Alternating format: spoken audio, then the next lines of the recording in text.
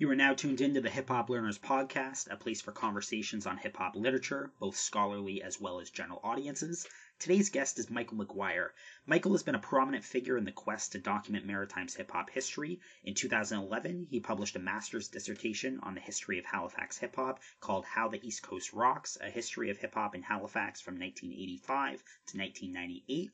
Additionally, he teaches at Mount St. Vincent University in Halifax and has put considerable efforts into building an archive for Maritime's hip hop history to be held and preserved. This conversation addresses both works and bridges in nicely with last week's conversation with Mark V. Campbell and his challenges building the Northside Hip Hop Archive on Canadian hip hop more broadly. Lastly, McGuire is currently working on hip hop pedagogy and hip hop as an educational tool and has some unique and creative ideas regarding this field that I feel like are worthy of discussion. Please welcome to the show, Michael McGuire. You have um, kind of an interesting perspective covering covering hip hop from a lot of people, um, being the fact that not only do you come from an artist perspective, but the approach that you've taken to kind of discuss hip hop has been very much localized and from your own community as well. Um, can we kind of i want to speak about that to some degree um, your research particularly and the thesis that i really want to end up talking about throughout the majority of this conversation focuses on halifax from kind of the early 80s and mid 80s right up until about like 97 98 or so um, being the fact that you are a, an artist in halifax what era did you end up kind of participating in mostly um, is that the, the era that you kind of started in and developing from or did you end up coming a little bit later I came in as a practitioner a little bit later. Um, I started as a fan in junior high school, so that would have been uh, early '90s, right around the time that local Dre was coming out, and uh, the Howltown compilations, uh, Hip Club Groove, that sort of stuff. So these were things I was picking up, you know, at the local Sam the Record Man, strictly as a fan. Um, I loved rap music. I would buy anything I could get my hands on and then I started seeing locally made stuff, and that was just exciting. So I started getting into that again, more so just on, on a fan tip. And it wasn't until later, about uh, 2002, 2003, that I started actively, uh, you know, going out and, and getting on stages and trying to do it myself. But uh, so it was a few years before I actually decided to take the plunge. But I, I think that was important too, because you kind of have to start as a fan in order to in order to make it good. I think. Yeah, fair enough. Um, at what point do you start kind of diving into academ- uh, academia a little bit more seriously? Um, in terms of I, am not sure what your undergrad studies were like and what you ended up working on for any kind of thesis or project for that.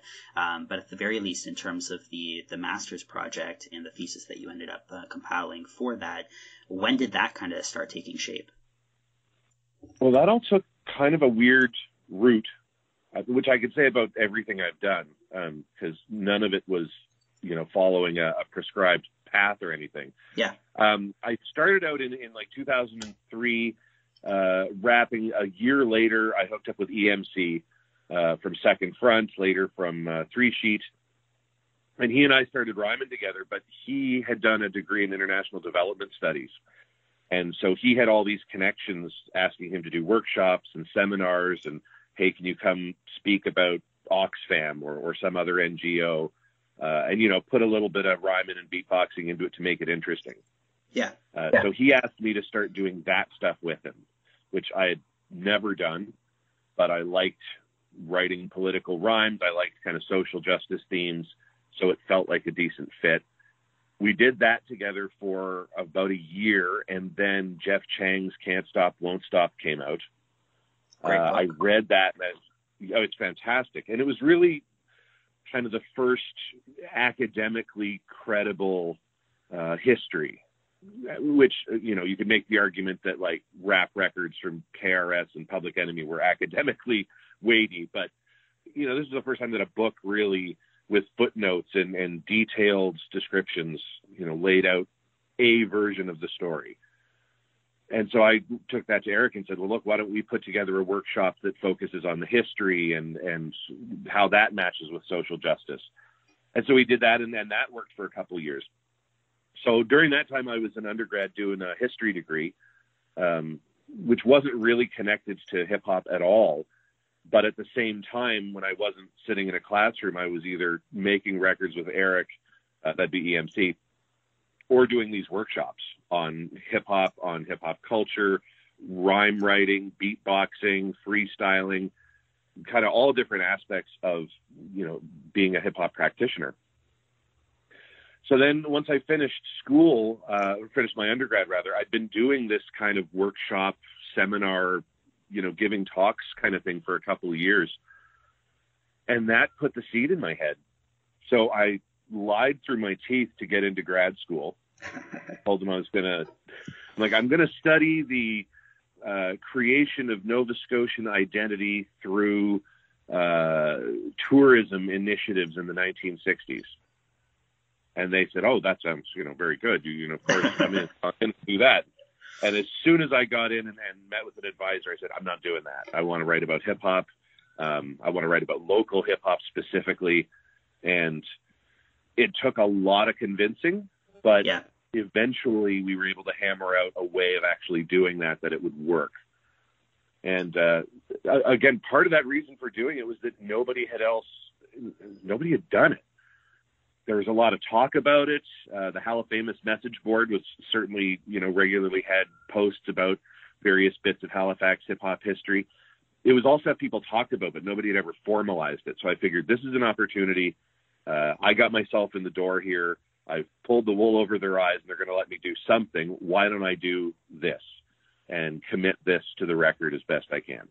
How well did you end up understanding the scene before kind of materializing your, your thesis and doing the research? Um, one of the things that kind of surprised me is I I understood Halifax to be somewhat important just from a hip hop fan's perspective. And I, I, originally didn't grow up here. I'm in Nova Scotia now. I've lived here since 2011 in Cape Breton. Um, however, I grew up in Ontario, and the majority of my, um, I guess, initial exposure to to hip hop would have ended up being in Ontario, and even after I moved here, I didn't necessarily have that sense of local pride that someone that was originally from Nova Scotia would have. But one of the things that I did know is that artists like um, the Sebutones, for example, and really maybe only the Sebutones, um, because Classified I very much uh, I I was aware of, but I took Classified to be kind of East Coast Maritimes hip hop, whereas Sebutones I really felt kind of transcended that into something that was more credibly uh, kind of recognized worldwide.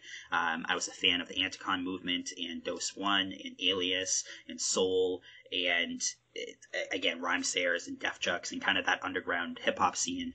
And the fact that Halifax had the Sebutones was Sixtoo and Buck 65 meant that there was something there, but I didn't really understand the the weight of the scene.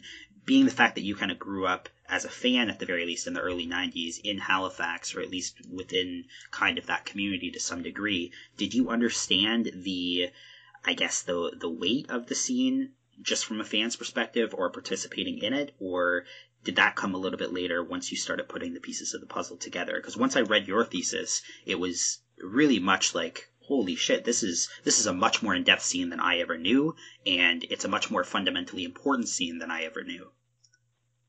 Yeah, um, I don't think I knew right away.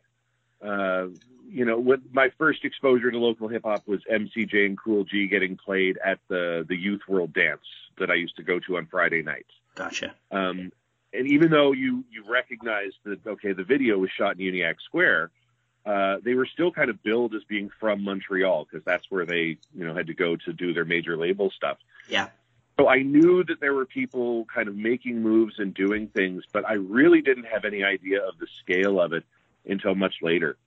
Um, one of the things that really kind of moved me to get involved in the scene was I was living in San Jose, California, uh, in around 2000, 2001. And I was in a, a record store somewhere in the Bay Area, and they had uh, I think it was Man Overboard was about to come out, um, Buck 65 on Anticon. Yeah. And Anticon had connections in Oakland and the Bay Area, so this I, I recognized the name. I was like, oh, that's the guy from Halifax.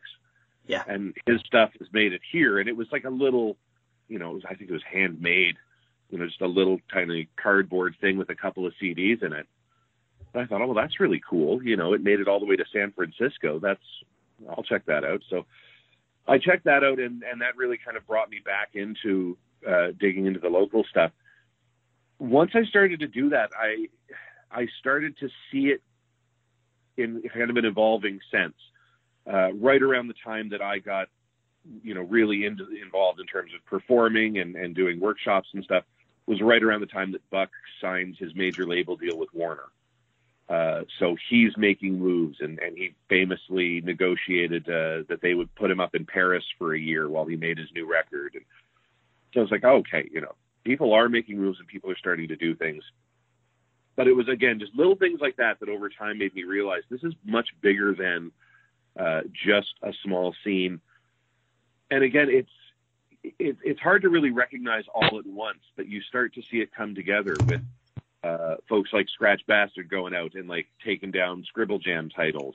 Uh, you've got folks like Pat Stay going out and and starting a battle career here, but then moving out into King of the Dot and stuff.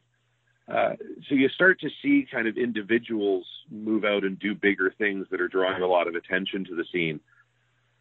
And I think the thing that really made me realize this, you know, kind of the global appeal of Halifax stuff was meeting a girl who had moved to Halifax from Japan strictly on the strength of liking Buck 65 and Sixtoo and Josh Martinez.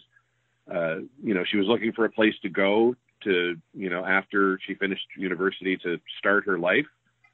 And she liked Halifax rap, which I'm assuming she encountered because of Anticon's involvement in their distribution networks. But yeah, like that stuff reached to Japan and somebody came here because they were a fan of that. And, and I think that's the moment when I really realized, you know, this is really something special.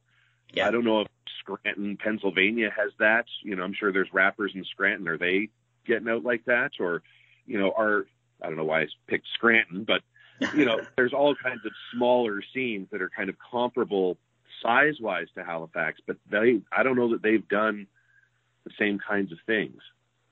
So it was kind of a, a slow rolling revelation. But uh, yeah, I, I, realized as I was getting into this, that, yeah, this is a much bigger story.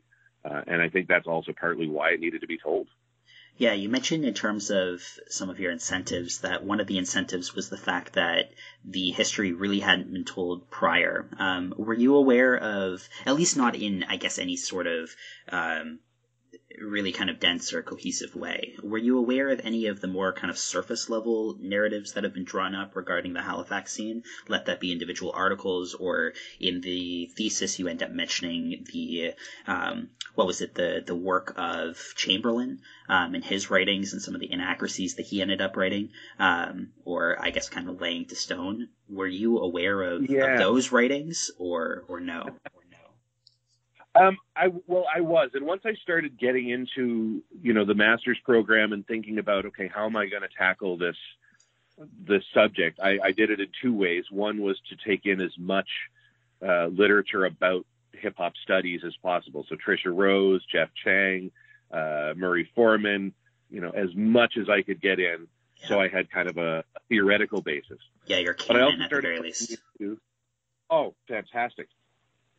And then it was looking at you know what does exist in terms of uh, chronicling the local scene, and that was really sparse. Uh, a few articles in the Coast. Uh, there's a very well-known uh, source article from I think 2003, um, maybe it was 2004, but uh, that kind of detailed some things. Uh, Vice in their early days covered Halifax hip hop a bit. Uh, but that was fairly agenda driven too, and not necessarily a, a, a unbiased source. Uh, and then, you know, the odd bits of journalism that would pop up every once in a while where somebody would try to tell the story of Halifax hip hop. Um, and one of the beauties of that was being on Halifamous, which was this message board that was widely used by a lot of folks in the scene. So when something came out that wasn't accurate, it was absolutely eviscerated by the users on the board. Yeah. Uh, so you'd have folks like Joe Run and Jesse Dangerously stepping in and saying, well, wait a second, this is inaccurate. So I had a good sense of what some of the prevailing narratives were, but also that there was a lot of issues with that. And I realized I don't think anybody's ever written anything about Halifax hip hop that hasn't been contentious, uh, that hasn't sort of misrepresented things, and that's both curious and should be corrected. So, and I mean, one of the most curious things about it, one of the the only things actually written about the scene, um, I think it was Chamberland, yeah, uh, the global what is it, Global Noise, I think was the name of the book. I'm not sure and, uh, exactly. Uh, it was Global Noise was this book. It had a section on Canada, and they looked at uh, the scenes in I think either Toronto or Vancouver, one or the other, uh, Quebec because it was kind of unique for the francophone stuff, sure, and Halifax because it was kind of this outlier in the uh, you know hip hop backwater where there was still some interesting things going on. But even reading through that, it mentioned a lot of names, but a lot of those names were you know people who were kind of transitory in the scene, weren't really around for a while, and uh, they got their name in it because they were doing something in you know that week. Uh, or there was a couple names in there that I still can't figure out who these people were.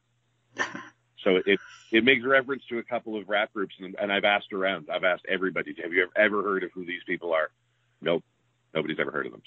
So so they, there was this thing, but it was fraught with inaccuracy. So I'm like, sure. well, somebody with the inside scoop needs to step up uh, and tell this story.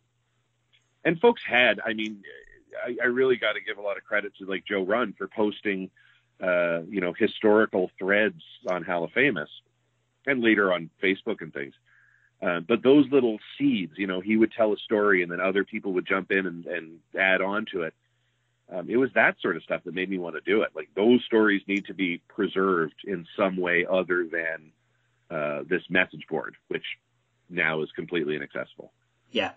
Yeah, we've briefly had the conversation in terms of sources um, previously before, but um, I guess one of my uh, one of the big takeaways when I was rereading the thesis in preparation for for this conversation that we're having now um, was just how well the the narrative was able to be uh, was able to be constructed given the fact that your sources were relying strictly on primary sources with no oral history interviews being done other than maybe a few kind of email chains back and forth with different people. Um, i think you had spoken to a, a couple people through email chains. Um, Jay Lapointe, I think, at one point uh, was mentioned as a as an email source, um, but for the most part, it was through flyers, liner notes, um, random articles that you would end up getting from from Vice, some of the other things that you had ended up already citing, um, live recordings, and then the recordings themselves, and they were pieced together in order to build this narrative.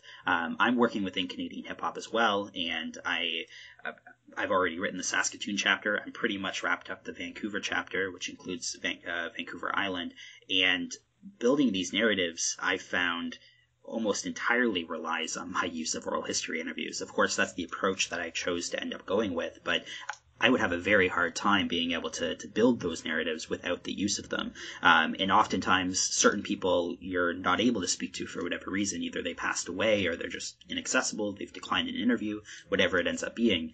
And trying to tell those stories without actually speaking to them um, proves like incredibly difficult. The fact that you were able to build this narrative without the use of that is is amazing. Can you kind of speak on some of your, I guess, choices in in terms of um, your sources and how you ended up kind of putting this thing together?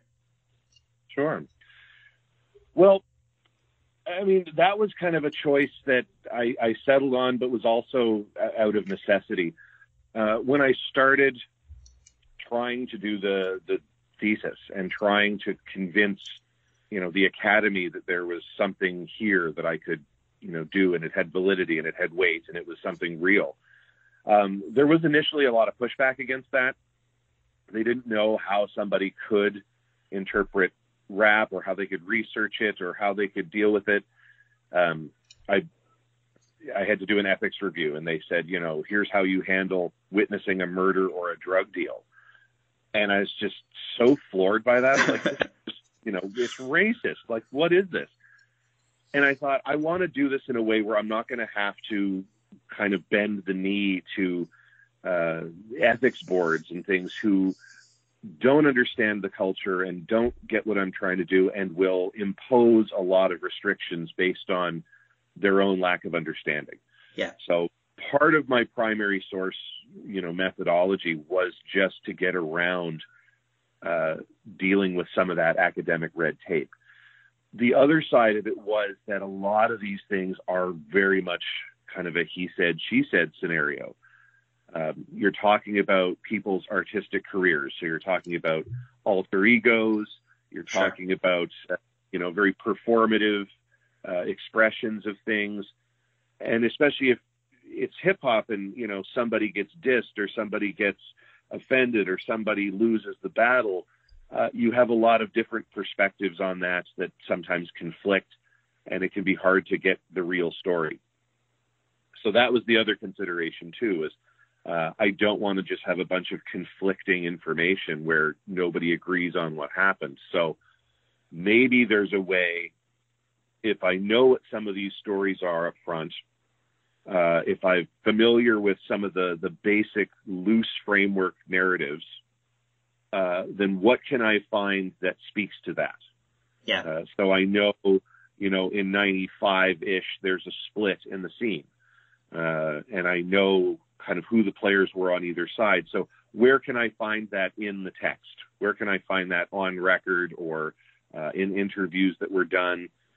And it's all there. And, and that's the thing. I, I kind of knew what I was looking for and was able to find things that supported that or debunked it in other cases.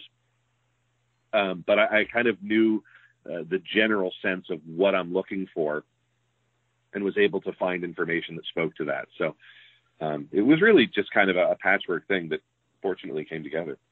Yeah, it's really interesting because I think the type of narrative that you end up building um, and what the narrative actually ends up being, I think is different than what it would end up um, being produced if it was through oral history interviews. You mentioned in terms of the split that occurred kind of in the mid 90s. Um, that's a thing that you start to see in different scenes, right? Um, it's generally separated by different terms. Um, so in your thesis, it's uh, the idea of race comes into play and the idea of kind of authenticity comes into play.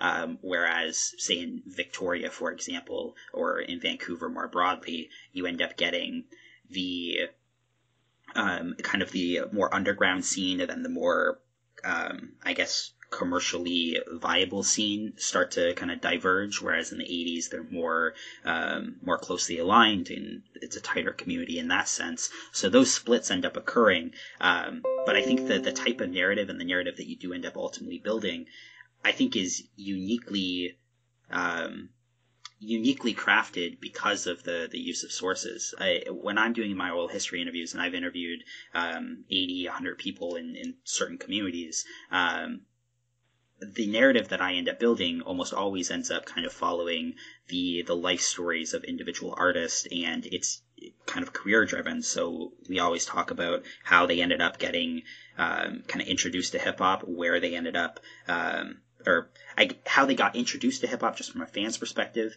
how that ended up kind of evolving into them participating in it, the friends that they ended up building. Therefore, we can end up talking about the, the group projects and how those group projects ended up coming together, um, the kind of releases that they ended up putting out, the uh, reception of some of those releases, and then ultimately how they ended up kind of t- uh, steering away from the culture. And then with that, over a series of 80 to 100 interviews in these communities, you can kind of build a narrative of the community as a whole, kind of following these similar trajectories. Um, I don't end up ever coming across issues of race, for example, in in my interviews because it's generally not something that the artists themselves really want to end up talking about. Um, at the very least, sure. something like in Halifax, where you're detailing that there's kind of racial tensions between certain uh, districts of the community, um, even if those were voiced at the time, I interviewed Joe Run, for example, and it's not like he's talking about those uh, those conflicts in the same sort of terms that he may have ended up talking about in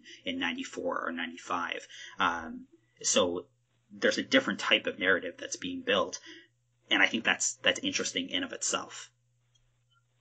Yeah, I mean, I, I should speak to the race side of things because that I felt was something that was very much kind of put on the project um, I was looking to tell you know, a very plain story. I just wanted to tell a story about, you know, local artists and this incredible group of people who, you know, through their own hard work and independent spirit produced this scene that, you know, resulted in all this incredible work. Um, that was the story I wanted to tell, but of course it's an academic project. And so, uh, my advisors said, you know, it has to have a, a theoretical lens. There has to be some, uh, hook that you're hanging it on or some reason that we care. Uh, and race, I think, is something that people who are not intimately involved with hip hop uh, assume is a, a, primary aspect of it. Yeah. Uh, so they're like, oh, you're studying hip hop, you must want to talk about race. Uh, and usually they mean kind of black and white. You know, they're not really concerned with any other constructions of race or any other, you know, racial considerations and particularly in Nova Scotia, which does have a very long history of, of racism and struggling with racism, uh, it, it was not surprising that kind of my academic overseers were saying this is the lens that you're going to have to use. Um, and I, you know, as a, a student with not a lot of power in that situation, just say like, if it lets me tell the story, cool, I will do that. Sure. Um, and there there were elements of race, you know, uh, how Corey Bowles was treated or how Hip Club Groove was treated as a whole by other members of the scene. Uh, and there were, you know, there were times when race was a factor. I don't think race was the driving factor. I don't think it was maybe even something that anybody was actively thinking about at the time. Uh, so it's one of those things where, like in hindsight, you can see that there is a racial component to this, or you can uh, describe this through a racial lens, and that's a way of doing it. Which is why I was very careful when I wrote the title to say this is a history of Halifax hip hop. It is not the history of, of Halifax hip hop, and that's something I totally stole from Jeff Chang because he did the same with Can't Stop, Won't Stop. Uh, but yeah, that was very much something that I think was was a bit of a narrative framework that was imposed on me for academic purposes. If I was completely free to do it differently, uh, I think I would have done something more along the lines of what you do and and put in more oral stuff. I think that would have also made it a much larger project. Um, and so sticking with the primary sources kind of narrowed the scope and made it a little bit more manageable for what it was going to be. Gotcha. But uh, yeah, I mean, it's tough because you do have to come up with, you know, a, a, narrative. There has to be some through line, and uh, you know whether or not that ultimately is the most apt or the most realistic one. Mm, that's debatable, but uh, yeah, I, I've always kind of thought about that. You know, the racial aspect of that thesis is, I think, valuable and viable but also it could have gone in a different direction and not necessarily focused on that.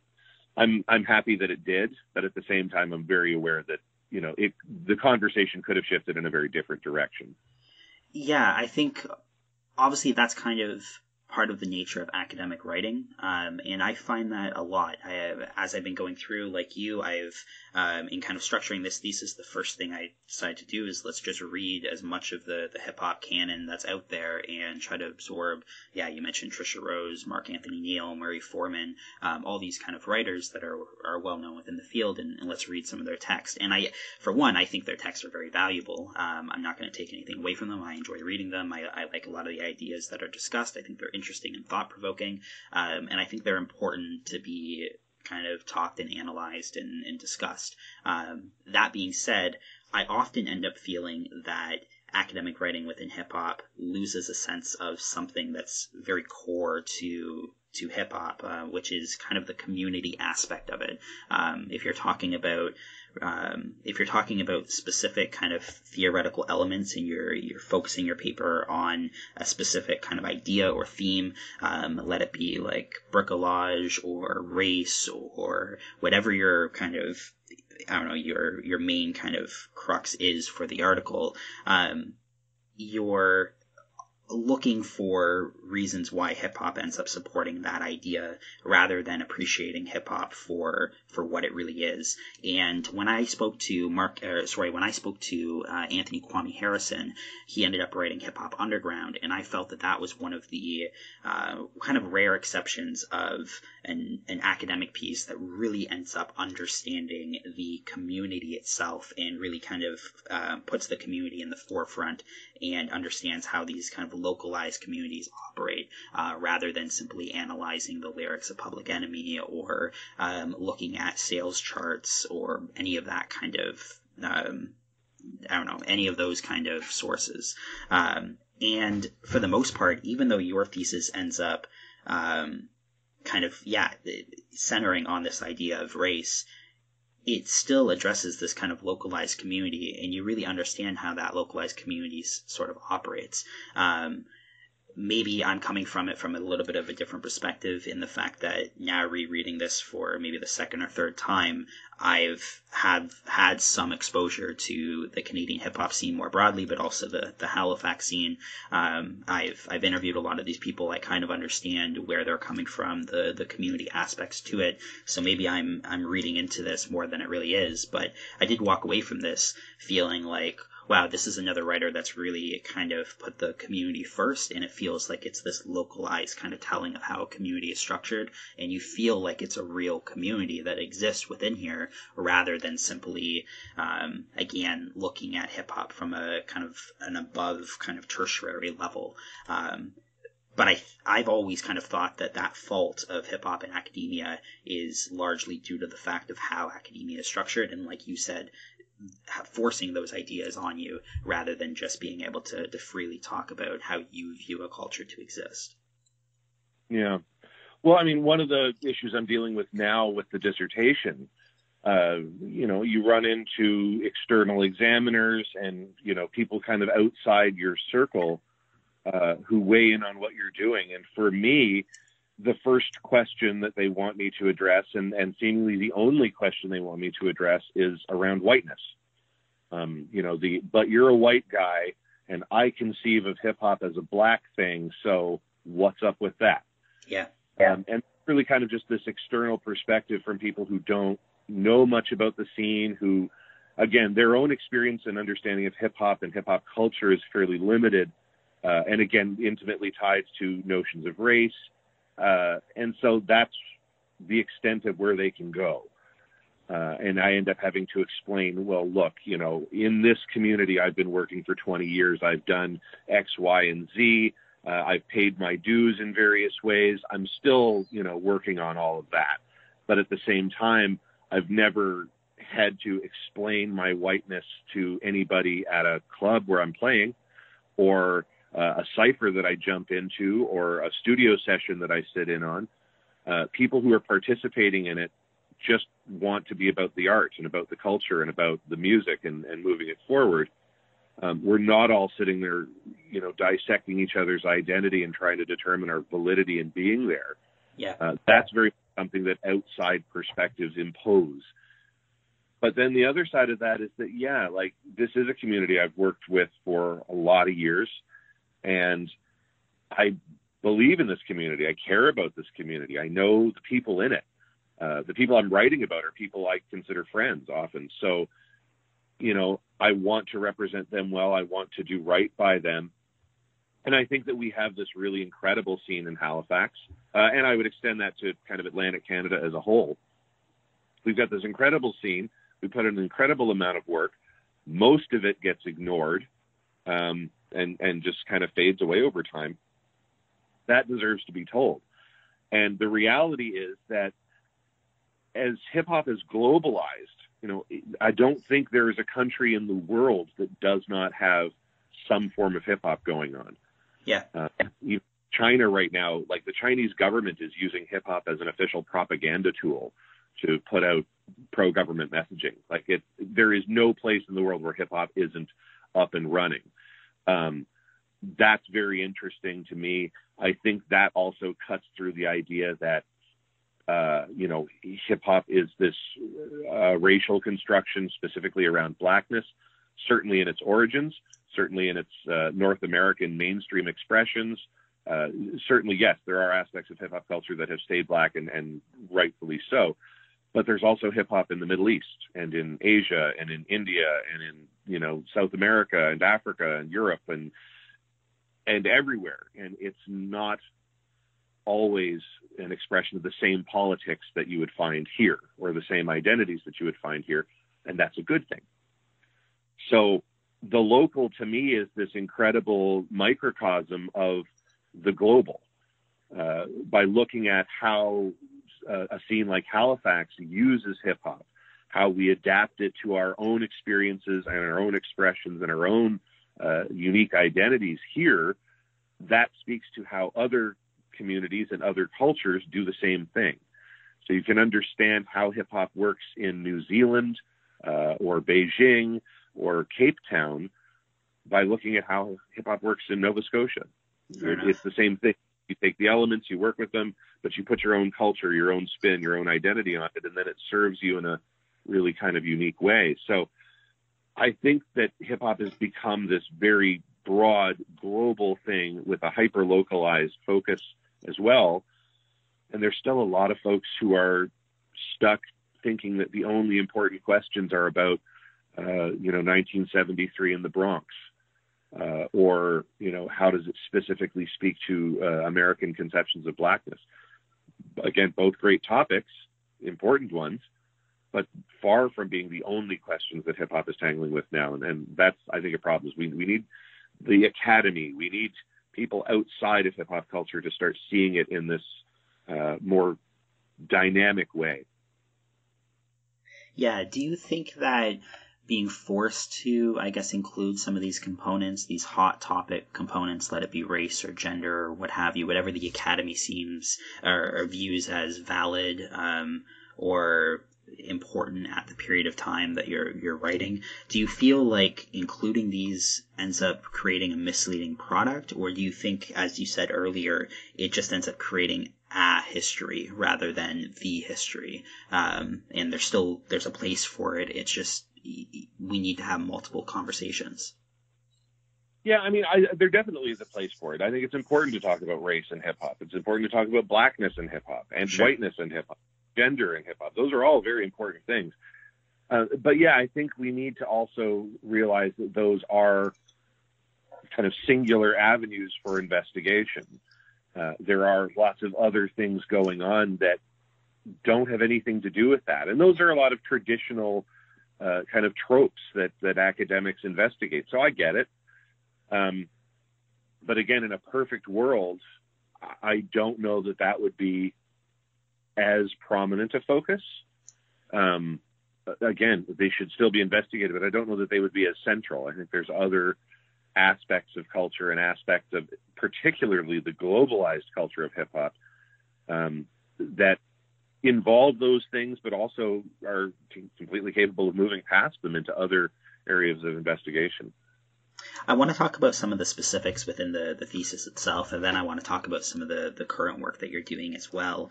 Um, but sure. one of the most interesting elements that I've taken away from your thesis each time I read it is the idea of the Melbranch tapes and how this kid, um, Eric Melbranch, would travel to the States and then bring back these radio programmings from New York. Um, or at least from the States, I, I, believe from New York, but bring him back to Halifax and then introduce the community in Halifax. And this is during the kind of early to, to mid 80s, and introduce the, the community to Halifax, or of Halifax to New York hip hop.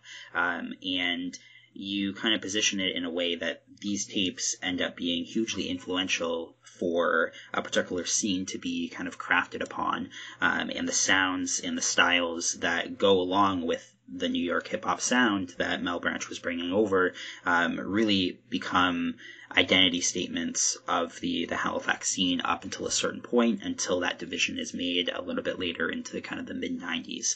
Um, I find this stuff fascinating. It comes up in my research all the time. If this kind of um, this traveling expedition down to the states to bring back kind of artifacts into the the Canadian hip hop kind of repertoire, and then you start to end up getting influence from that. But what I find is most fascinating is in the case of this, you actually have a name to them, and seemingly you probably ended up finding some of these Malebranche tapes. Um, and the character of Eric Malebranche in that instance is kind of singled out as this really kind of important figure within the scene.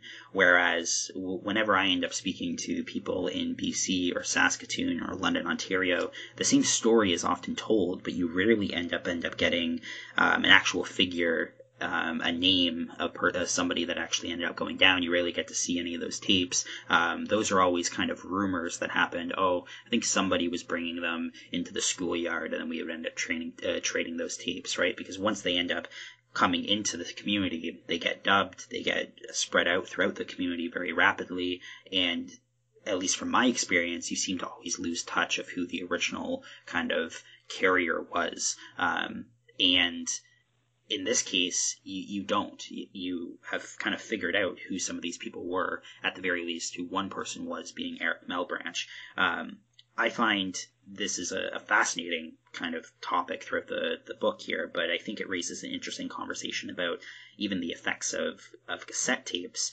and how kind of cassette tapes had an impact in the culture in these places. I just tweeted about a video uh, released recently, anyway, about the Columbia House mail in program for CDs and tapes. Ah. And that's a topic that gets talked about all the time. And it's kind of it's interesting to see how these small little almost seemingly irrelevant details um, that exist within kind of canadian culture or just ex- that exist period um, and how much impact they end up having on these localized communities. Like again eric malebranche is, is really singled out in the thesis as being this important figure like one of the most important figures outside of maybe Jorun um, as like really influential in the scene. Um, similar, I would say, in a way, as like the Columbia House stuff. But these are, without reading the thesis and kind of from being an outsider, you would view these instances as completely irrelevant and not really worthy of discussing. Um, I guess I, I want to really talk about the the Malebranche idea, but can you I guess how did you first end up hearing about Eric Malebranche, and how did you end up coming to um, I guess, understand his impact in the community. So yeah, Mal Branch has become almost this mythological figure in, in my own work. Like he's, you know, in the grand story, he's kind of Moses coming down from the mountain, like you know, behold, look what I have brought you, uh, and, and brings us stuff you know, I, I have learned in, in subsequent years, you know, there were lots of people doing that, and, and was by no means the only one doing it, but he was a notable person who did it. Um, and a lot of that is owed to Jorun uh, in the stories that he would tell, you know, either in uh, journalistic articles or Halifamous posts. He would name him by name. Um, and he remembered the day, you know, they were going on a ski trip and he brought this box of tapes on the bus and everyone passed the tapes around to listen to. So, you know, it was this very firsthand experience where he knew exactly who the guy was. He knew where he had gone.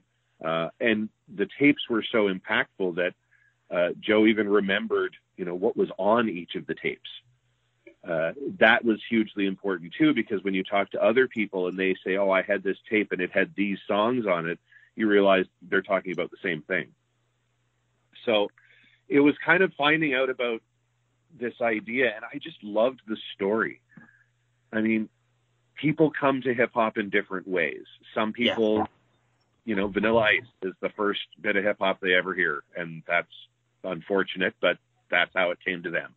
Sure. Uh, you know, some people it's you know a music video or something but the idea that there was this you know system where folks who had relatives down there were kind of taping stuff off the radio and bringing it back and then disseminating it it was just such a neat story and the fact that there was you know this specific guy in Eric Malebranche who kept getting named as the source for all this stuff uh, that just struck me as a fascinating part of the story. Uh, again, it's usually very amorphous. It's hard to tell where it comes from. Nobody remembers. You know, something comes into the scene, but you don't know who really brought it. In this case, there's a name. Uh, there's specific tapes. uh, and people can tell you what was on them and, and how they went out there. And then to hear all these different people having ex- their own experiences of coming to those tapes and what that influence was, I just find that really, really interesting. Have um, you been able to locate either any of the tapes or Eric himself and be able to speak to him?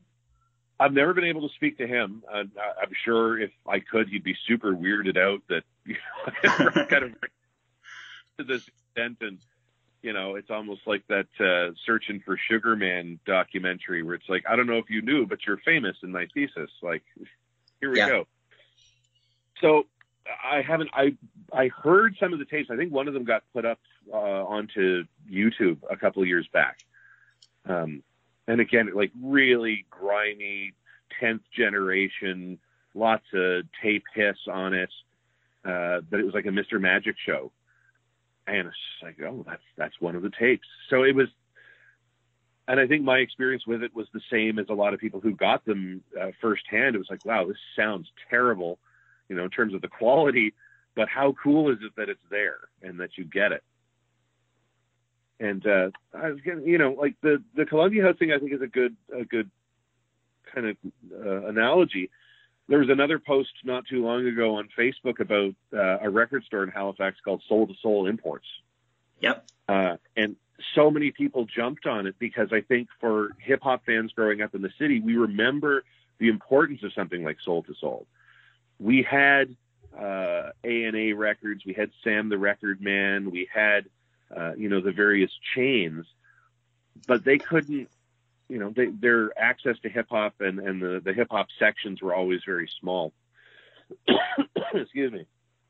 Soul to Soul was this place that sold incredible stuff that other stores didn't have. So, uh, places where you can get things that you can't get otherwise in the city become hugely important yeah, I always find that it's it's either local radio programming, um, things like Columbia House have a huge huge factor, um, and it, I don't know exactly.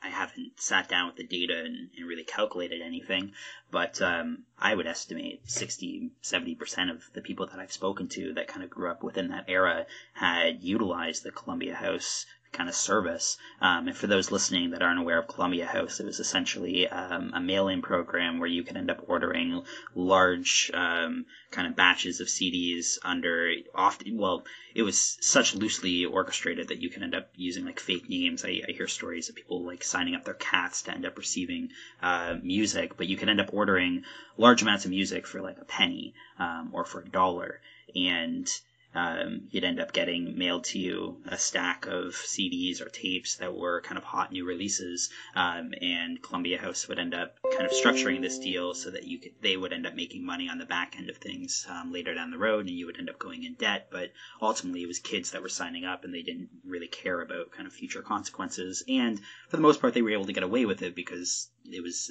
loosely structured. Um, but these yeah, exactly like you're saying things like Columbia House or um, localized radio, um, and localized radio ends up being a big one, or kind of local uh, record shops that cater to hip hop, either um, exclusively, so things like um, a Record in Toronto or No Static in Saskatoon, um, or Phonographique in Saskatoon later on uh, fuck what you heard in in Vancouver, etc., or just yeah, or import kind of oriented stores. They they seem to drive the community, not only in terms of how they are introduced to the music, but also how the community itself is formed and the um, places that people can go in order to meet one another, build connections. And in terms of something like Columbia House, the story is enough in order to build relationships um, in terms of finding someone else that had done the same thing, and then they were able to kind of bond together and meet and form some sort of group or relationship that will end up becoming important later down the career and whatever their career ends up being. Um, I think those are really important kind of aspects of the culture that often end up getting overlooked, um, especially things like college radio um, and community radio that it doesn't necessarily have the amount of weight to it as commercialized radio in most people's view, and most people will kind of dismiss college radio as not really even being a thing outside of maybe campuses. Um, but it has a huge impact when you look at subcultures like hip hop. Um, and I imagine communities like punk rock, if I were to study punk rock, I would probably see the the same sort of emphasis um, put down on on things like punk stores or um, a college or community radio that that offered um, people an opportunity to, to build relationships and to access that music. Um, and I think your thesis ends up doing a good job at, at kind of showing the importance of somebody like DJ Critical, who would later end up being Buck 65, and his importance of the, the scene as well, and uh, what he was able to do in order to, to introduce people to music on kind of a wider scale um, from college campuses. Yeah, well, and that's what we had that I, I, think a lot of places had something similar, but that's really what did it here. Um, I mean, I yeah, my my dog and my cat and my brother and my made up brother and my other made brother all had Columbia House accounts, you know. Uh, so it was pulling in a lot of stuff, and that was great if you wanted like DJ Jazzy Jeff and the Fresh Prince albums or Gang Starr or whatever. Sure. But one of the other things was um, like Atlantic News, which was a, a magazine shop down in the South End. They carried Word Up, they carried rap pages, and they carried the Source. And it was the only place in the city where you could get them. So, you know, people who were interested would make their way down there and get copies of these things. Yeah. So you would read the, you would watch Rap City on Much Music in, in the afternoons uh, and you would listen to CKDU and DJ Critical. Uh, so there were these kind of non-mainstream uh, avenues to, to acquiring some of this stuff or to learning about stuff. So you know, I as a suburban, you know, white kid growing up in Clayton Park, just on the outskirts of the city, I would go to Soul to Soul Imports in downtown Halifax looking for uh, Dred Scott or Pudgee the Phat Bastard or you know, something that I'd read about or that uh, Rich had played on the radio or something that was in the source that wasn't going to be at Sam the Record Man. It wasn't going to be anywhere else. Yeah. But they have it in those places because those places knew who the, they knew the good stuff. And yeah, you would run into other people there. You would get to meet people and, and, you know, it's in those kind of far flung corners where the more specialized stuff happens uh, that the people who are really into it start to meet each other and get to know each other and, and networks form. So yeah, it's all you know just this fascinating web of how this stuff comes together uh, in the way that it does. Yeah, I want to I want to talk uh, and kind of transition the conversation towards some of the, the current endeavors that you're you're currently working on, and I'm aware of two that are that are interesting at the very least, in kind of relating to, to hip hop within academia at the very least, um, which are one the um, the archive that you are planning on building, which will encompass kind of Maritimes hip hop, and then second the um, the dissertation, which you've interestingly been able to kind of turn into a, um, a hip hop record, and I want to be able to talk about kind of both of those. But to start with the the archive, I find that really interesting. I just ended up having Mark Campbell on um, for the podcast, but it will be two episodes prior to, to this one airing, or maybe the the episode immediately before. Um, and we ended up speaking about his Northside Hip Hop Archive, and he kind of detailed yeah. it as a, as a yeah, as a rogue archive, um, separated from kind of your traditional government um, kind of ran archives. And um, he thought that that was kind of needed or required because your government structures have historically imposed um, certain rules and guidelines that have um, kind of uh, that have, I guess, implemented a sort of ideology or in, um, his argument would be racism within the the confines of what's covered in an archive. Um, so whenever you end up looking at material in an archive, it ends up having to go through this lens, um, which often doesn't really service the community. And in order to service the community properly, he felt that he ended up needing to, to start his own kind of rogue archive, which is um, community driven and um, kind of separate it from those I guess, traditional structures. Um, with the archive that you're building, from my understanding, it's it's within Memory Nova Scotia, um, and it's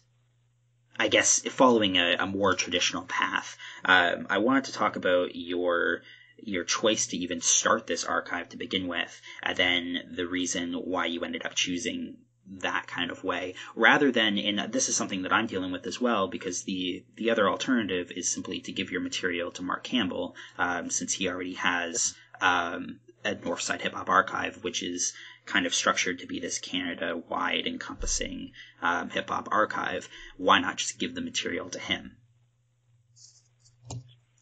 Well someday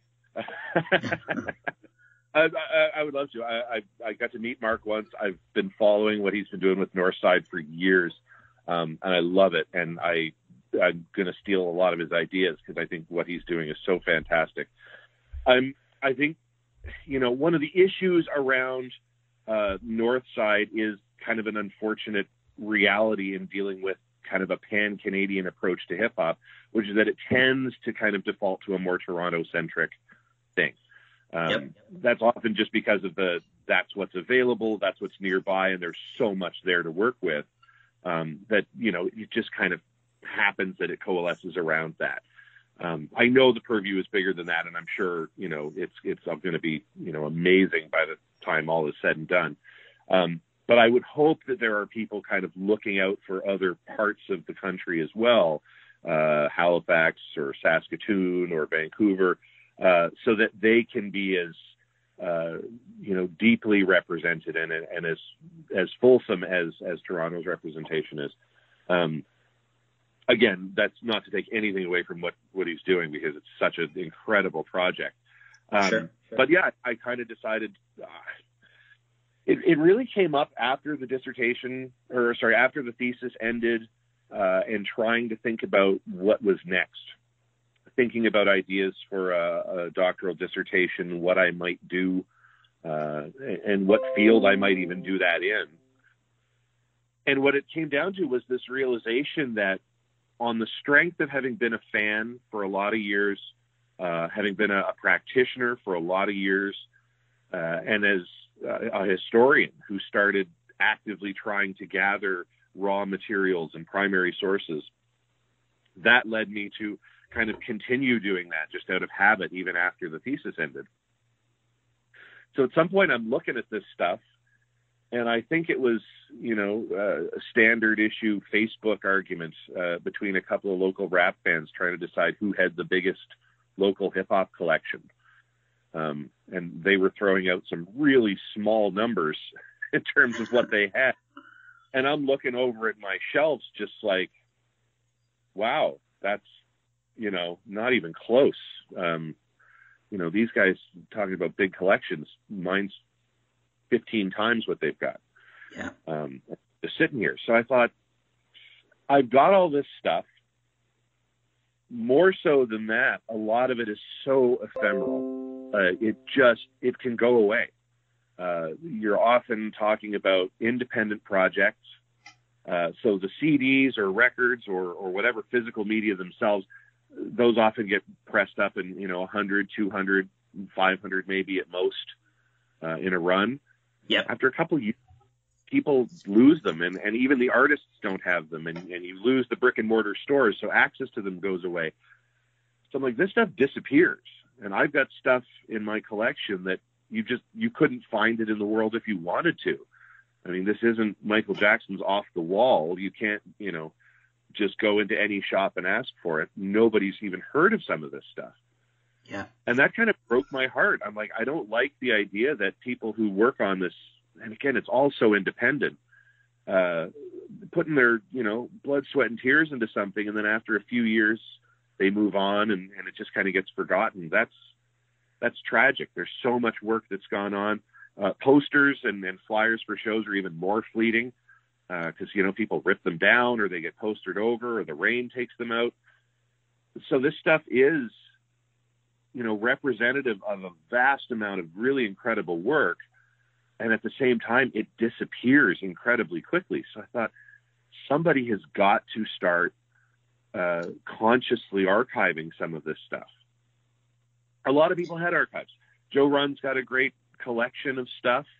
Uh, I know Six Two kind of famously has a closet full of Sixtoo material up in Montreal. Uh, I know Jesse Dangerously's got a you know, a giant bin in his parents' garage or something that has all this stuff. But again, that's not accessible and it's not publicly available. And if something were to happen to any of these folks, I mean, that stuff could end up in a landfill. Yeah. So, you know, it was about preservation. And again, here's this scene that I love and I think is so important. Um, I wanted to preserve it. So I started just collecting it. And then it got to the point of thinking, okay, how do I formalize this collection? It's, it's one thing to have it all on a shelf and in a drawer, but I'm going to have to catalog this stuff so I started reading into digital humanities and you know how archiving works, figuring out how some folks do it and how other folks do it, and and you know based on what I'm trying to do, how can I do it? And so you have to set up some rules for what gets in and what doesn't, and what you're going to cover and what you're not. Uh, and I try to be as inclusive as I can. Um, because I think to agree with what Mark says, yeah, there is a lot of institutional stuff about how archives are run, just as there is institutional stuff about how academies want you to write about stuff that doesn't always represent it well. So I'm going to yeah. do it in my own way where I can write the rules. I can decide who gets in and who doesn't based on the most inclusive model that I can come up with. And I can use the knowledge I have to, you know, go after certain stuff or try to represent stuff and, uh, and seek things out. I mean, a really good example of, of kind of bending the rules is Shy Love. She's an incredible artist from here, now based in Toronto. Uh, won an ECMA, put out a lot of videos, uh, appeared on the 44 North compilation. Uh, you know, a, a fairly well-known figure. Hasn't put out any albums of her own. So, you know, I've got a couple of mixtapes in my archive from Toronto because they feature a Shy Love song or two. Um, you know, and are they purely Nova Scotian? No, but I'm putting them there because I want Shy Love to be represented in this archive. Uh, yeah, and if that's enough. how I'm then I'll pull that in and use that. And then, of course, as I was doing all of this stuff, uh, the purview expanded as well. It started out with mostly Nova Scotian stuff, but nothing in the Maritimes is purely in one place because somebody from Nova Scotia works with uh, some people in New Brunswick. You know, you've got uh, First Words, and you've got Jorun kind of going up there to do that. So I'm like, well, then I should include New Brunswick stuff. And then if I'm going to do that, I might as well include PEI. And then started looking into Newfoundland stuff. And I'm like, well, why don't I just call this kind of an Atlantic Canadian archive? Um, so that's what I did. I, I called it East of East, uh, which is kind of a joke based on the idea that Canadian tours always go out east and they end at Montreal. Yeah. So I feel like we're kind of east of east as far as Canada goes. Um, but yeah, there's so much stuff that's come out of here. The albums alone that I have uh, documented, there's I think close to 1,800 of them. Yeah, which so, is crazy. From a, a 30 year period in a place where you know your average person would not think was a hotspot for hip hop culture, that's an incredible amount of work like I I love getting people to guess. You know, when I tell them that I run this archive of Atlantic Canadian hip hop recordings, how many records do you think I have in it? And people will say, I don't know, 30, 50. How many rap records could have come out of the Maritimes? Yeah. And when yeah. I say no, I've like almost 1,800. The jaws hit the floor. Like how is it that there's so much stuff there that people don't know about? And that's exactly why I want to do it because there's so much stuff here that people don't know about. Yeah, I feel like you really hit the nail on the head. Like whenever I work on this project, I'm also accumulating a, a fair amount of um, a physical collection, but also in terms of just digital material that is contributed to the project that is otherwise very hard to to get your hands on, right? Um, it's not even just in terms of recordings, but as you said, the the flyers, visual material, um, those things have been scanned in and sent my way, and oftentimes they're they're like gold mines of information that is just completely inaccessible otherwise. And I feel like there's there's two aspects and you address both of them, but one of them is servicing the community. So as you said, people ended up putting their blood, sweat, and tears into these projects, and you want them to be able to um, kind of have a long life and be remembered in some sort of way. And then the other aspect of it is you need it to be accessible not only to service that community, but also to serve the research community that's uh, hopefully going to come along after us and continue to end up working on these stories that are not being discussed by us. Because, of course, we can't cover everything. So um, there should be we should make it the material accessible as much as possible so that those stories can still be talked about and um, they can have an easier time in telling that story. Um, I I think of the same things myself often, and it's always a question of where do I want this material to go. Um, clearly, there clearly it should not just stay within my my house. Um, I think that's probably not where it should end up. Um, if the more you end up reading about archival practices and racism and issues kind of involving um, archives and the, the kind of negatives of, of government ran archives, it sways you away from um, kind of including it in there. Not only that, but it ends up being kind of an academic audience that has access to these things in most cases. Um, before I joined university, and I, I took about 10 years off after high school to, to start university. And within that period of time, I was a big fan of, of hip hop, and I never once visited an archive to, to learn about hip hop. Um, archives were just something that were was inaccessible to the general community, even though they try not to be. And I've worked at an archive as of now, and I know that they're friendly to the community itself. Um, to the community, they're often um, there's often kind of a wall separating them and it, it doesn't feel accessible. Um, so you run into that problem. So do I want to end up hosting the material just online and scanning everything in myself and creating some sort of digital archive? And that seems great, but at the same time, the, it's not as permanent as something like a government ran archive that has weight to it and that's been around for centuries, or not centuries, but for decades at the very least.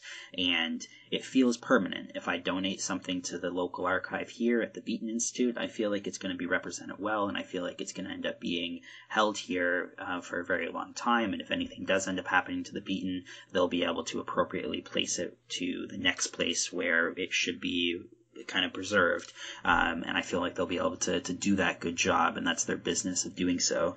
Um, and I feel like if I were to, to publish something online myself, what happens if um, I pass away and I stop paying for the domain um, or whatever it ends up being, and that material becomes inaccessible. That those are fears that I have, and that conversation of what to do with the material. Do you just do kind of a mixture of everything and just try to get it in as many places as possible? That I feel like ends up usually being where I kind of side with the matter. Um, but it's an interesting conversation to be had because yeah, you're dealing with these relics that are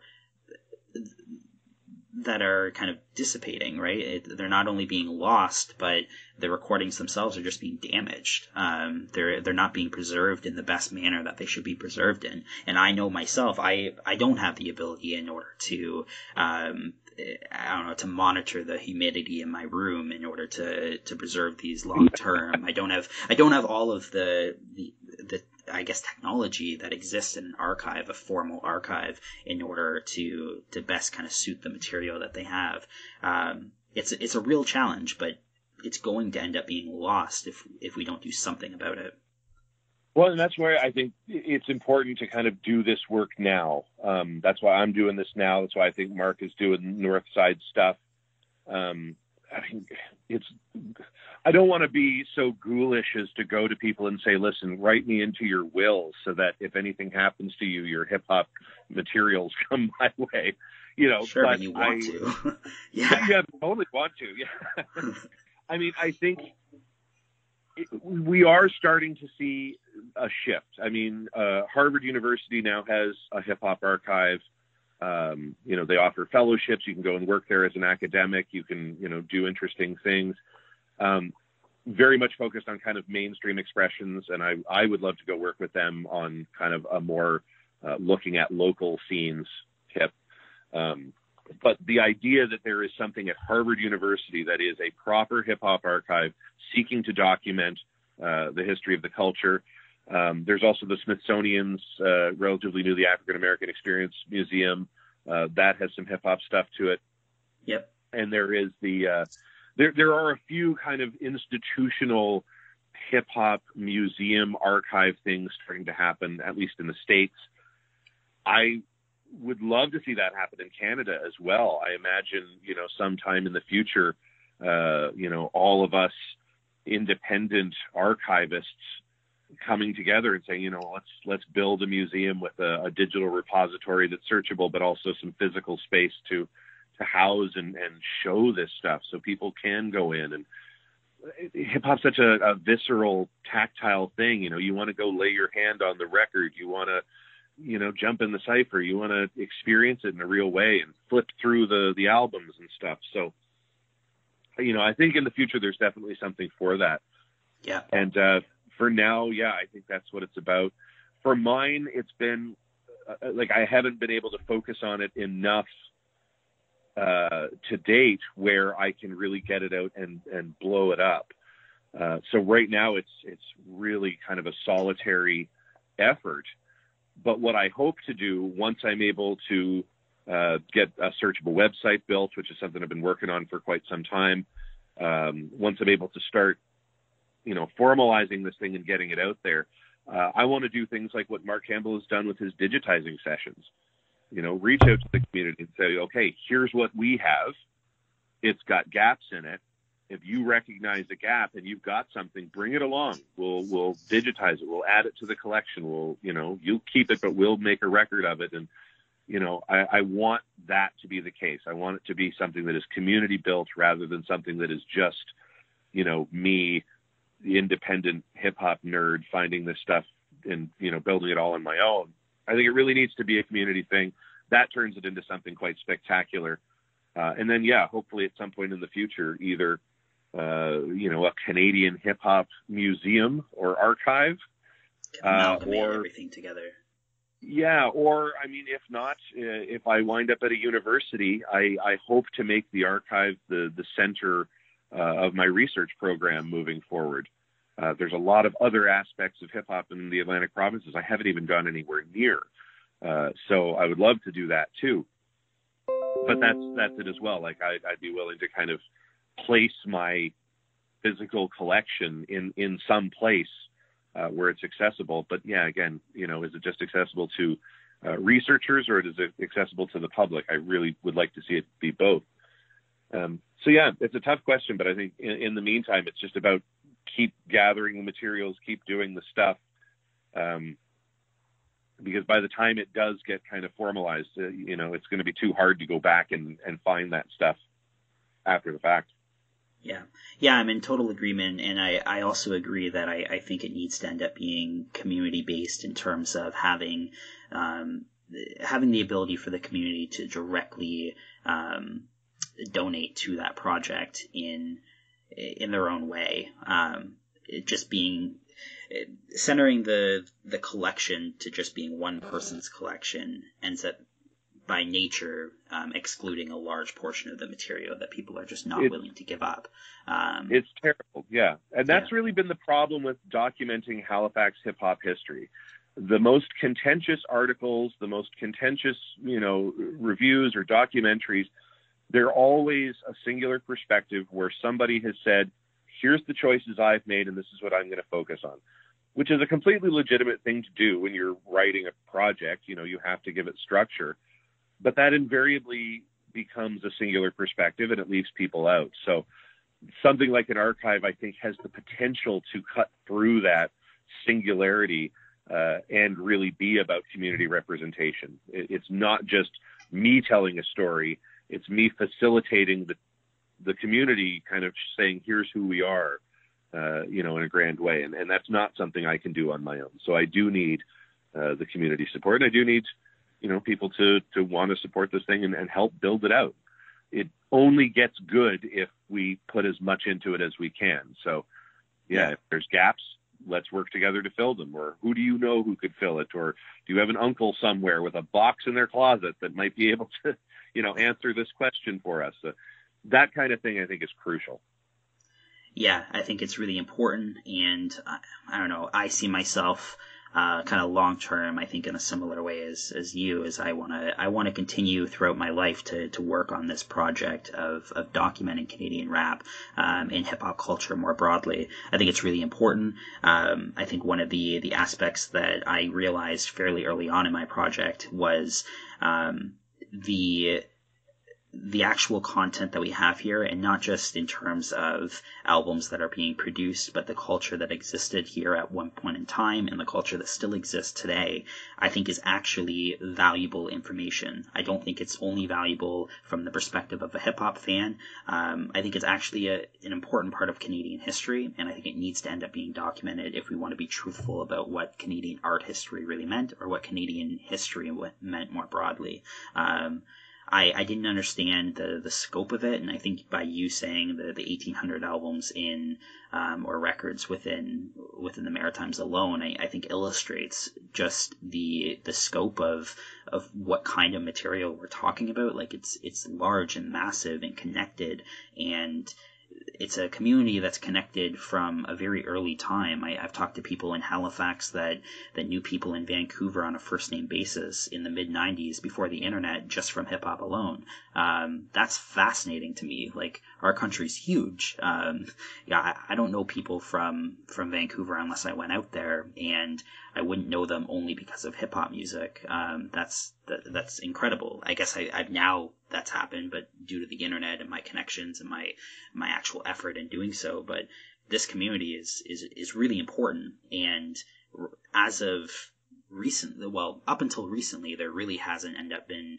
any sort of real effort to to document this in in any real kind of all-encompassing way. And I'm glad that there's people like you or Mark Campbell or myself that are that are going and, and putting in the effort to to either tell the story in terms of an individual scene or um, as the country as a whole, or doing any of their any of the kind of small pieces of the puzzle that are needed in order to to make the the bigger picture complete. Um, and yeah. I'm glad that that's that's being done. And I'm like I don't know. I see myself dedicating the majority of my life to, to working on this project. Um, that archive sounds fascinating, and yeah, that's exactly what I want to end up doing as well. When you mentioned the internet, and I think that's such a it's such a crucial part of all this too, because you know the the internet largely defines the, the boundaries of the archive that I'm working with because I'm trying to preserve stuff from a time before the internet really fundamentally changed everything. As you said, you know, there was a time in the 90s people were, you know, had this cross Canadian connection before there was social media, which is fascinating.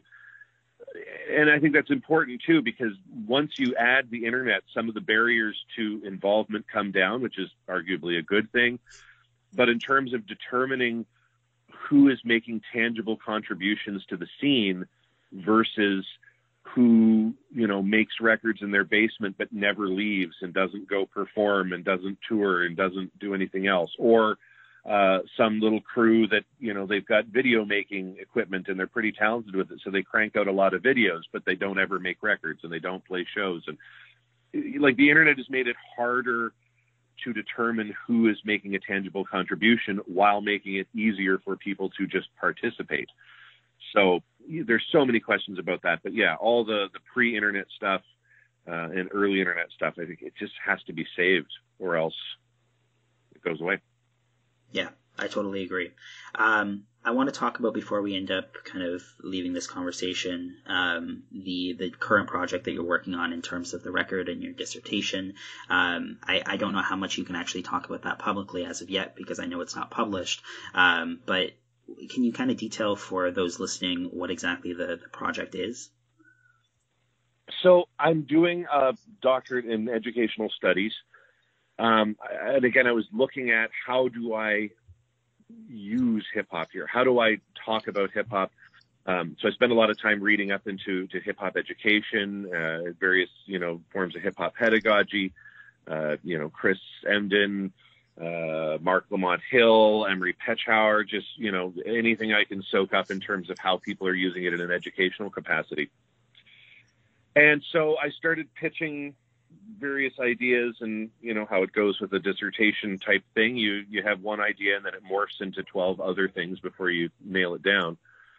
Um, so ultimately, it came down to the idea that I've been engaging in hip hop pedagogy in various forms here on the east coast of Canada for almost 20 years, um, starting out with workshops, starting out with with uh, seminars and and lectures and talks and things, and then moving into uh, writing a, a, historical thesis and starting to archive things. Um, but also in how I teach my own courses at Mount St. Vincent. Uh, some courses are actually rooted in hip hop specifically, others just in music, but I'm able to use hip hop, uh, hip hop elements and the philosophies that drive hip hop culture to inform you know pedagogical strategies but also assignments and how i have students approach the work that i want them to approach. So taking all of these things that i've done over the years i'm trying to now put that together into something that could be a bit of a roadmap for other educators who want to incorporate hip hop uh, who want to learn how to do that in an effective way not so much the the rapping teacher, but somebody who you know developing uh, a, a crop of teachers who understand something about hip hop culture and can connect with their students uh, and use uh, the tools of hip hop as an educational you know vehicle. I'm not saying it's the only way to achieve uh, you know things like uh, culturally responsive pedagogy, but it's a good way of doing that. Uh, so I'm currently, well, I'm making a rap record that kind of track for track uh, represents an autoethnographic uh, deconstruction of my own efforts over the years as I try and figure out, you know, what are the essential elements here? What is the root of my own hip hop pedagogy? What are the lessons that can be taken away from that and applied to others? Uh, so again, it's it's a little bit uh, autobiographical, but it's also about you know 20 years of trying to be about hip hop and education in this province, and how successful has that been, or not? One of the things that, you ended up mentioning earlier is the the importance to make it a good rap record, um, and I, I find that interesting mainly because although I I agree and I um, encourage people to to use hip hop within kind of edu- uh, like for educational purposes. Anyhow, um, oftentimes the product of that ends up being kind of cringeworthy, and it seems disconnected from what hip hop actually is, um, which is. Uh, there's there's levels of authenticity that kind of come with hip hop, and it's usually fairly easy to distinguish what is authentic and what's not authentic for someone that's within the culture. Um, and generally, these educationally kind of platformed performances of, of hip hop culture generally end up crossing the line into not being authentic, um, and it's yeah. easily recognizable to not be authentic. Um, can you speak on that? And I guess as a follow up to that, how different is this record going to be than your typical hip hop record? Is it going to feel like a typical hip hop record, or is it going to be noticeably different? Well, I really want it to feel like a hip hop record because you're right. There is kind of a sharp divide between, you know, authentic hip hop culture and people who, you know, whatever their intentions are trying real hard, but it just doesn't land. Um, and I see that a lot in in studying hip hop pedagogy too. There are uh, people who are, I mean, anybody who kind of gets into hip hop education, I think, comes from a, a deep love of hip hop. They're they're either a practitioner or uh, a super fan. Uh, you know, or are involved in some aspect of the culture. I, I don't know that there are a lot of people doing, you know, intense hip hop education who don't have some connection but there are sure. a lot and there are teachers who want to incorporate this stuff but they don't know how and or they don't know how to do it without it being embarrassing. Um, and so from my end and especially looking at a lot of uh, you know ethnographic research into to hip hop education it's often somebody who is an academic or a researcher looking in on somebody who is a practitioner uh, and trying to guess what their uh, motivations are or try to guess why they made the choices they made. So I wanted to bridge that gap for one. The idea that I could be both the researcher and the practitioner was interesting to me. um, I can speak to my own motivations for why did I pick this sample or why did I write this line the way I wrote it. But also, you know, after being around for a lot of years and I've, I've made a lot of rap records, I I would not want to make something that wasn't at least half decent to listen to. Yeah, of um, course. It, the idea, I mean, you could you can make kind of educational rap, but it always ends up being like, "Well, my name is Mike, and I'm here to say," you know, and like, no, that's sit down.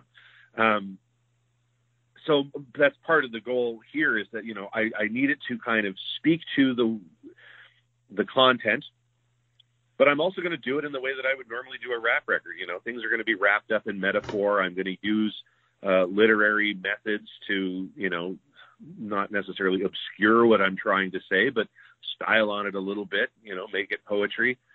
Um, and try to make it good. So I, I've got to make the beats myself. I've got to make, you know, I got to write the rhymes. I got to engineer the thing. I got to, you know, mix it. So there's all these steps I've got to take where I'm involved. And I, I, one, don't want to fall on my face and embarrass myself. Two, I want to represent the culture as best I can and not make something that's embarrassing. Uh, and three, like if you're to make something that's musical, if you're to make an album, then make it good, damn it. I think of uh, A.D. Carson. I don't know if you've ever come across him. He made the news a couple years back. He did, uh, I think he did a dissertation as an album, uh, and it was it was okay. It was pretty good. And then I think oh, wow. just this year he released the first peer-reviewed rap album. Um, so it's like it's got footnotes, but he sent it around to other academics to like proof his work before it came out. So he's doing stuff that's interesting and it, it works as a rap record. It sounds good, but it also has those academic bona fides. And I kind of like that as a challenge. Like, okay, I see what you're doing. I'm going to try and do something similar. Um, it will, of course, be very different and be my own thing, but you know, I, can't make a whack record. I mean, how's that going to look? Fair enough. Um, so, is there going to be any written component to the the dissertation, or is yeah, that something you're still working out, or? No, I'm, I'm I'm kind of keeping like a journal as I go. So there's kind of a beat journal that explains my thought process and searching for samples and why am I gotcha. using this or that. And then I also do a bit of a written breakdown. Uh, it's mostly just kind of my own process of note taking, um, but it ends up being kind of a, a written component, very much not in a traditional sense. It's, it's kind of an ergodic, uh, multiple narratives on the page, lots of little asides and, and stuff. Um, but that's kind of my note taking process. If I'm going to write a song, I, you know, sit down and say, okay, what is this going to be about? So I write out, here's where my thinking is. Here's the relevant information and me kind of introducing that. And then once I have that, I sit down and write the rhymes so that'll that'll be kind of the the written component of it. Will be all of those notes with the lyrics fully annotated. Um, so it'll be kind of this almost chaotic document that goes with it. But the other thing we're trying to figure out now is uh, we're in communication with the library at the school, saying, you know, what do you need in terms of something archivable? Do you do you need something physical? Could it be a website? Can it just be a recording? Does it have to be, you know, bound into a book? Uh, nobody at my school, anyway, has ever had to tangle with that kind of question. So um, we're figuring that part out, and uh, the final form will be decided, I guess, based on uh, what the requirements, you know, for the actual archiving of a finished project are. That's really interesting. I um, I encourage you to, to use the the written portion of it and include that as the liner notes for the album if you if you do end up pressing anything physical. Oh, that's the plan. Yeah, I want. I imagined like those old 1990s. Oh God, even going back to Columbia House, but the old uh, the box sets. You know, yeah. you get the same box set, and it's got a like a book bound into it, and then it's got a couple of CDs, and you know, I don't know. Criterion box set for an album, yeah. Yeah, exactly. I'll come up with some kind of interesting packaging that that binds it all together, and I think that's part of it too. Is you know, uh, I've always been a very DIY indie kind of artist, so like I'm going to bring that straight to the academy and say, you know, here it is. That's this is what it is. Perfect. Um, again, man, I can't thank you enough for taking the time out to speak to me here today. I appreciate it. I'd love to have another one of these conversations down the road. Um, there's lots more to talk about, even in terms of the thesis. I wrote plenty of notes, and we got to maybe about half of them. Um, so there's still lots to talk about. In addition to that, once you end up putting out new material, let it be the the archive becomes more formalized and out there or the record ends up coming out, I would love to dissect that and and talk to you because that sounds like a really interesting project alone. Um, I'm sure there's there's going to be opportunities for us to speak again in the future, and then of course um, I, I, think we we talk on and off regarding uh, both of our mutual projects, and I think they go hand in hand. So um, again, thank you for taking the time out to speak to me, and I would love to have you back on again. Anytime. Absolutely. Anytime. I love talking to all of my Canadian hip hop academic people Sounds good. All right. You have yourself a wonderful day, Michael. Awesome, man. Thanks for chatting. Peace. Talk to you later. Bye bye.